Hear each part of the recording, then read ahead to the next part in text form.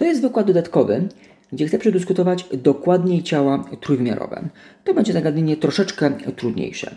Wyobraźmy sobie, że mamy jakieś ciało trójwymiarowe. Ok. To jest jakieś ciało trójwymiarowe. I teraz o, narysujmy sobie. Ok. No i załóżmy, że to ciało kręci się wokół tej osi. To ciało kręci się wokół następującej osi. No i teraz, proszę Państwa, bierzemy prawą rękę, kręcimy. O, to się kręci w tą stronę, powiedzmy. I mamy, że wektor prędkości kątowej jest taki. To jest wektor prędkości kątowej, omega. Ok? I teraz definiujemy sobie wektor jednostkowy wzdłuż wektora prędkości kątowej. No i to jest standardowo oznaczamy z daszkiem. Czyli to będzie teraz wektor prędkości kątowej podzielone przez długość wektora prędkości kątowej. Czyli to jest wektor podzielony przez długość i wiemy, że długość tego wektora jednostkowego to jest po prostu równe 1. Czyli omega z daszkiem jest to wektor jednostkowy wzdłuż mający kierunek i zwrot wektora omega. Bierzemy sobie teraz jakiś element masy, na przykład o, mamy element masy i i, i, i gdy, gdy mówimy o momencie pędu albo o momencie siły, musimy sobie zdefiniować jakiś punkt, względem którego to liczymy. No i bierzemy teraz na osi obrotu. Bierzemy na osi obrotu, to będzie nasz punkt O i definiujemy sobie to jest nasze RI. Tutaj mamy kąt, który oznaczymy sobie przez θ i. To jest kąt pomiędzy osią obrotu, a wektorem wskazującym na nasze ciało. Teraz co to jest ta odległość, którą oznaczymy sobie jako RI? To jest bardzo łatwo policzyć. No proszę zobaczyć, że RI do długości wektora RI to będzie sinus kąta, czyli możemy sobie napisać teraz, że RI równa się RI razy sinus θ i, prawda? Czyli ta odległość elementu masy i od osi obrotu, duże RI oznaczam, to jest po prostu długość wektora małe RI razy sinus kąta. No i teraz, proszę Państwa, i teraz możemy sobie zapisać nasze twierdzenie, które żeśmy sobie kiedyś wyprowadzili, że zmiana momentu pędu po czasie to jest moment siły. I to, proszę Państwa, jest względem punktu O. I proszę pamiętać, punkt O jest w inercjalnym układzie odniesienia, albo mogę wybrać sobie też środek masy i wtedy to nie musi być inercjalny układ odniesienia. Wtedy środek masy na przykład może przyspieszać, ale w tym przypadku bierzemy sobie jakiś punkt O w inercjalnym układzie odniesienia. I zanim będę kontynuować, to jest nasz startowy wzór, yy, zanim będę kontynuować, chciałbym zrobić pewną dygresję matematyczną. Więc wyobraźmy sobie, że mamy wektor jednostkowy omega. To jest nasz wektor jednostkowy omega, prawda? Długość jest omega. I to jest wektor, a to jest wektor omega tutaj. To jest wektor omega. Omega z daszkiem to jest wektor jednostkowy, który ma kierunek i zwrot wektora omega. I teraz wyobraźmy sobie, że mamy jakiś dowolny wektor a. Mamy dowolny wektor a, a tu mamy kąt. Oznaczmy sobie przez phi.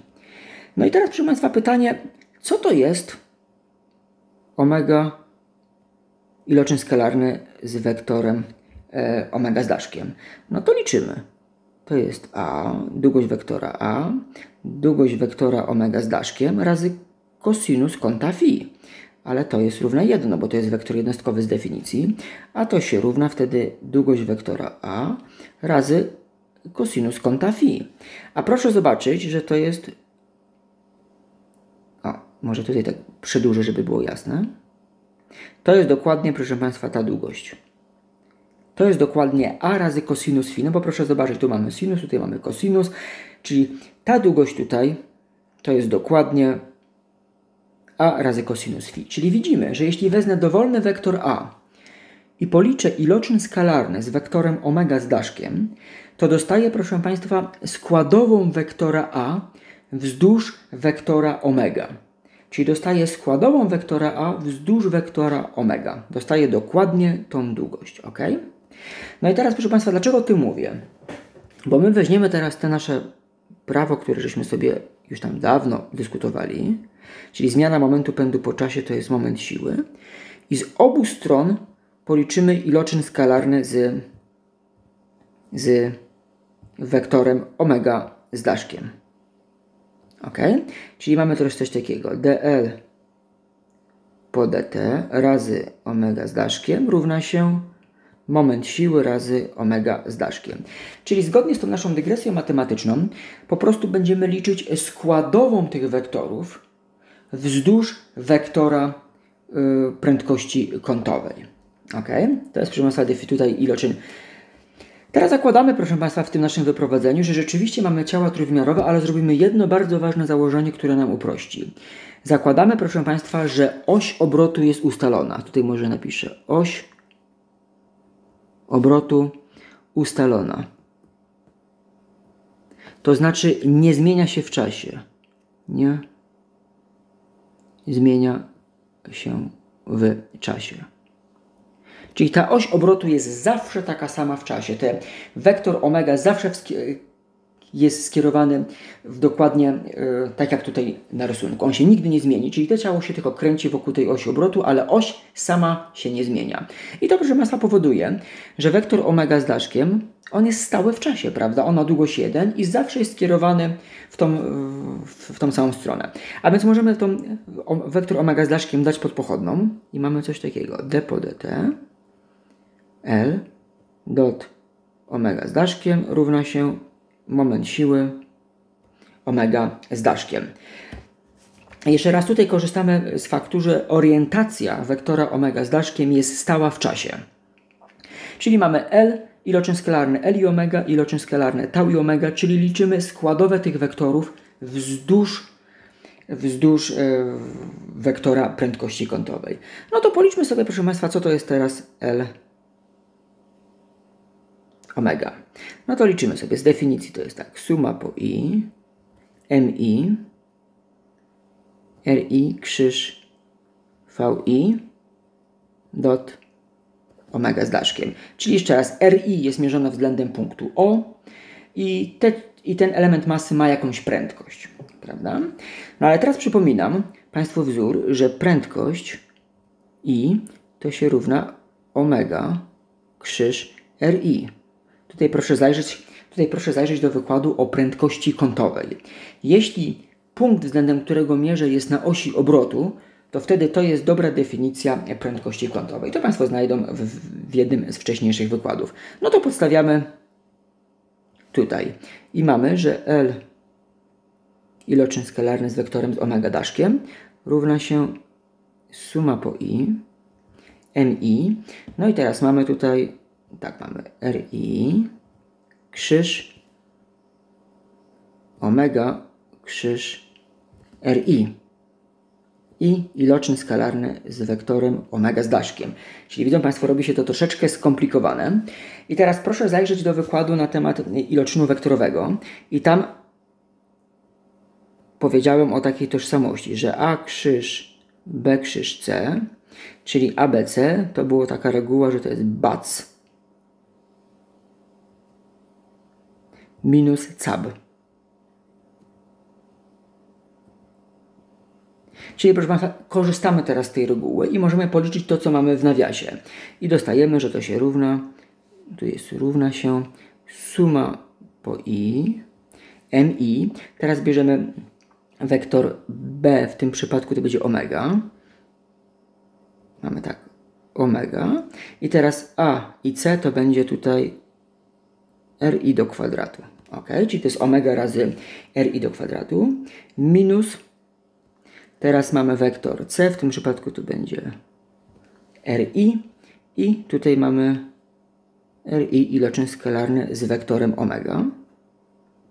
I tutaj, proszę Państwa, omega z daszkiem. Ale przypominam, że omega z daszkiem to jest omega podzielone przez długość wektora omega. Ok, czyli podstawiamy, że to się równa suma po i, mi. I jeszcze raz mamy omega. I teraz już po prostu piszę ri do kwadratu, już pomijam, prawda, ten wektor, minus. I proszę zobaczyć, tutaj mamy ri i omega, ale tutaj też mamy jeszcze wektor ri i też będzie omega, czyli mamy ri wektor omega do kwadratu.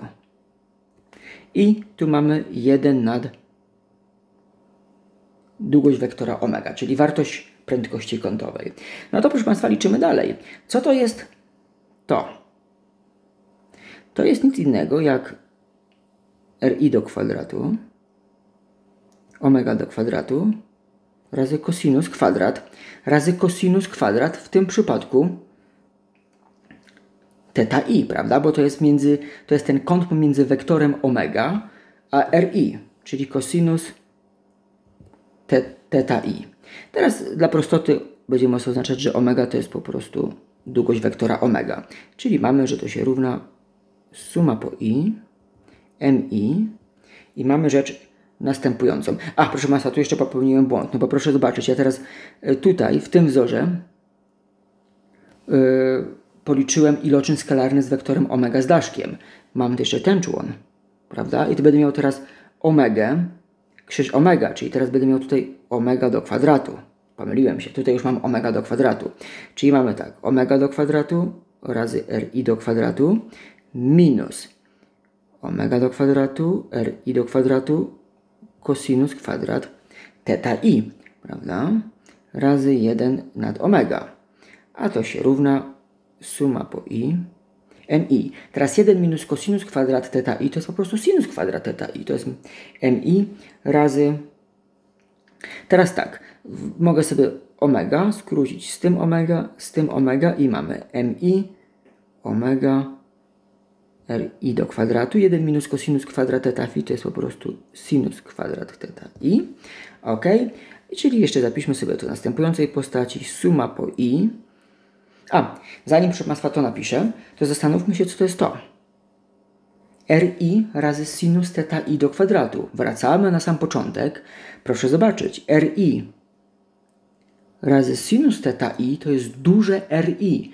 To jest odległość elementu masy i od osi obrotu. Czyli to jest nic innego jak r i do kwadratu. Czyli mamy suma mi r i do kwadratu razy omega. A co to jest to? To jest dokładnie nasz moment bezwładności względem naszej osi obrotu. To jest suma mi razy ri do kwadratu, duże ri, a ja już Państwu wcześniej mówiłem, dla ciał trójwymiarowych po prostu bierzemy odległość od elementu masy do osi obrotu. Czyli to jest dokładnie nasz moment bezwładności.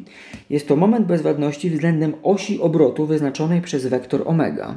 Czyli dostajemy, proszę Państwa, że jeszcze raz, co my żeśmy liczyli? Liczymy L i iloczyn skalarny z omega. Czyli mamy, że iloczyn skalarny L i omega z daszkiem, tak? Jeśli się nie mylę, tak? Omega z daszkiem to się równa po prostu moment bezwładności razy yy, wartość wektora prędkości kątowej. Czyli mamy następującą rzecz. Teraz mamy tak, d po dt z, przepiszmy sobie to, co mieliśmy wcześniej, równa się, a, tu się pomyliłem, tutaj równa się tau omega z daszkiem. Ale mamy teraz d po dt moment bezwładności razy omega równa się, i to proszę Państwa będziemy sobie oznaczać jako tau. Tau to będzie składowa momentu siły wzdłuż wektora omega. Jest to składowa wektora momentu siły wzdłuż naszego wektora prędkości kątowej. I teraz zakładamy, że moment bezwładności nie zależy od czasu, ponieważ to jest jakaś liczba. Po prostu wezmę te wszystkie tak jak żeśmy sobie na przykład wcześniej wyliczyli, dla, dla, dla cylindra to była jakaś masa razy promień do kwadratu. To jest po prostu liczba. To już nie zależy od czasu. Czyli możemy sobie zapisać teraz, że i moment bezwładności razy d omega po dt, czyli zmiana prędkości kątowej równa się tau. Jeszcze raz.